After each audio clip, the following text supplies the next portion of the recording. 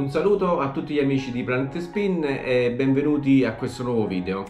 Oggi parleremo di edging e nel dettaglio eh, andremo a fare un approfondimento sulle colorazioni di edgi esistenti.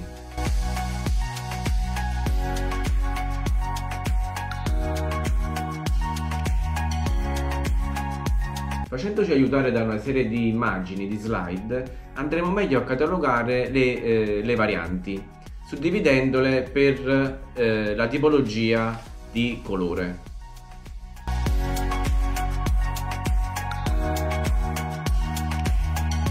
Ricordo inoltre che questo video è un approfondimento al testo che ho realizzato qualche tempo fa e che trovate disponibile sullo shop eh, Amazon eh, sia in formato cartaceo come questo che in formato elettronico, in formato ebook eh, tutti i riferimenti li trovate in descrizione e troverete anche il link per eh, eventualmente acquistarlo.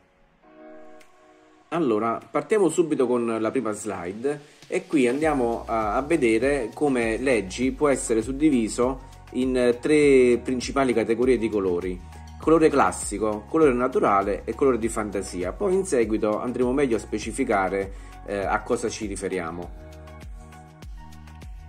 A completare il panorama delle colorazioni degli edgi eh, troviamo quelle che mura e quelle glow. Eh, poi andremo meglio a definirle queste tipologie di colorazioni, ma eh, giusto per mh, mm, dare un'infarinatura eh, possiamo trovare sia colorazioni di edgi classiche, naturali che di fantasia, sia in versione che mura che in versione o con appendici glow. Eh, poi andremo meglio a specificarle nel, eh, nel paragrafo dedicato. In questa slide andiamo a definire il colore degli edgi classico. Eh, da quando sono stati inventati gli edgi eh, i colori utilizzati sono stati principalmente l'arancione, il rosso, il rosa, il verde e nell'immaginario collettivo si è un po' eh, stampato quello che è il colore classico della Totanara ed è quello che possiamo trovare eh, sia nella slide che in questo video eh, in sovrimpressione. Fanno invece parte delle colorazioni naturali tutte quelle gradazioni di colore o delle livree che vanno a richiamare ehm, eh, quello che esiste realmente in natura e che la seppia o il calamaro, eh, i cefalopodi in generale, vanno a predare. Quindi andremo a, de- a, definire come colorazione naturale le imitazioni di pesce foraggio, quali eh, cefalotti, sarde, sardine, ma anche colorazioni eh, che vanno ad imitare quelle del, del, gambero, del granchio e addirittura di altre, mm, di altre seppie. In merito alle colorazioni eh, definite di fantasia, eh, troviamo tante tipologie di, eh, di, colore, di livree che sono in qualche modo state inventate dalle ditte di produzione e che comunque hanno una certa efficacia in, su, sui cefalopodi. Eh, sono dei, dei, colori che non hanno un, bel, un, un distinto riferimento per qualcosa che il, il pesce identifica come reale e eh, che però riescono a far scattare nel, nell'animale quell'istinto predatorio che lo, li porta ad attaccare. In merito alle colorazioni Keimura, dette anche colorazioni UV, eh, possiamo trovarne sia in eh, livrea classica, in livrea naturale o livrea di fantasia.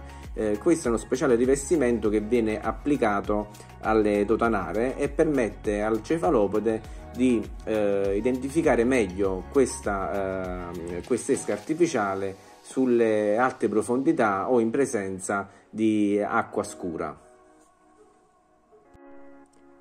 Anche per quanto riguarda le colorazioni glow, possiamo trovarne delle tre principali categorie, quindi sia edgy in livrea naturale che classica che di fantasia possono avere delle appendici o delle zone del corpo ehm, eh, in colorazione glow, ovvero fluorescente. Eh, questa particolare mm, eh, vernice eh, sottoposta al raggio luminoso come può essere quello di una torcia o, a, o del sole riesce a, ad emettere questa fluorescenza in modo che eh, soprattutto di notte o in acque profonde il cefalopode riesce meglio a identificare la, il nostro veggie.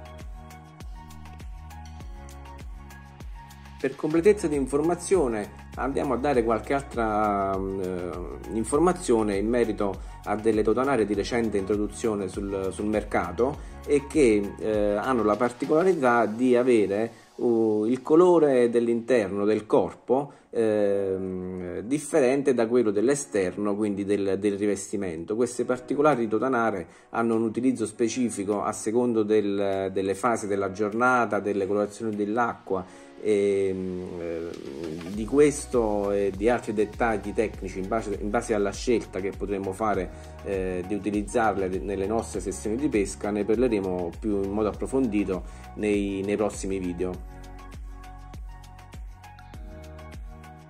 Molto bene, per il momento è tutto. Se il video vi è piaciuto lasciate un like eh, oppure utilizzate i commenti per richiedere qualche informazione ulteriore eh, in merito a questo video o in merito allo spinning in generale. Eh, potete iscrivervi al canale eh, utilizzando la campanella, riceverete gli aggiornamenti per le prossime introduzioni. Eh, per il momento è tutto, come sempre un saluto a tutti gli amici di Planet Spin.